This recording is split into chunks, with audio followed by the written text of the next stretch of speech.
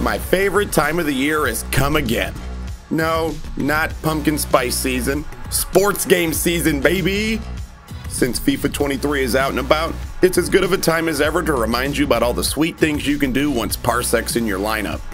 Online tournaments, skill games, and just about anything else you can play offline with friends can now be turned online. Even if that means buddying up for, you guessed it, a co op career mode.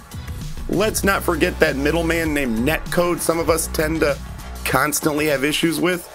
Go peer to peer with any combination of folks you love or people you can just plain tolerate and lay it all on the field in ways you normally couldn't.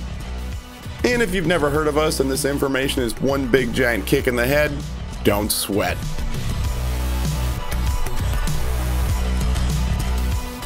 Step 1 Visit parsec.app and hit the shiny download button. Step 2 Open up your copy of FIFA 23 on your machine.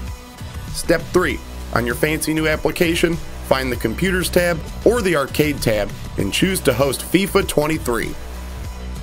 If you use the arcade, there's even an option to set the session to public to let anyone come kick balls at you or with you. However you choose to play, you can send the big link out to whoever you want to join and they'll be brought right to your session. Once everyone's connected, you'll all see the same screen at the same exact time like you're in the same place together. So plug in those controllers and try not to boot anyone's head in.